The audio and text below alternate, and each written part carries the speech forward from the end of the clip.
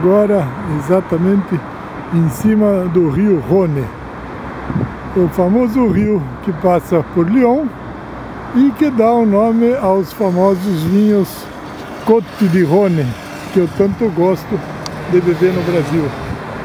E aqui a gente pode beber o vinho nacional legítimo da casa, que é o Côte de Rhône. Esse rio é muito lindo, a cidade aqui é muito bacana. Aqui uma ambulância passando, os carros passando.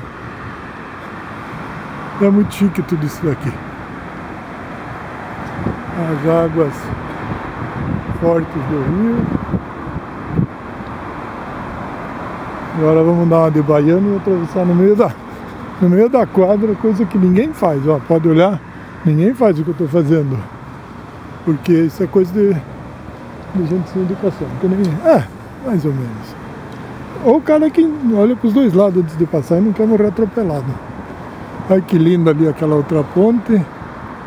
Ali tem uma série de piscinas.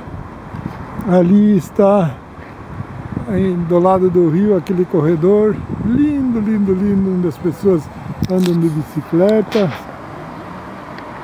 correm, se divertem. Na realidade é tipo de um parque Barigui em volta do rio. Enfim, e lá a Basílica, que eu acho que é uma das igrejas mais bonitas que eu já vi na minha vida.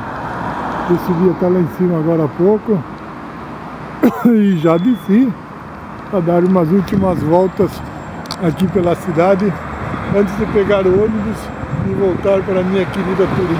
Um beijo a todos.